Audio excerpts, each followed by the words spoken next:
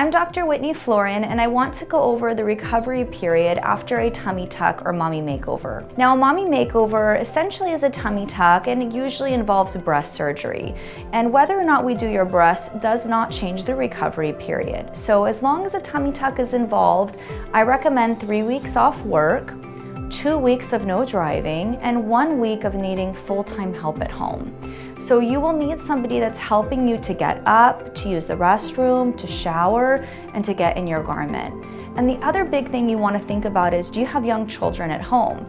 And if you do, then you should probably have somebody else at home who is taking care of your children full time for about one to two weeks after your surgery.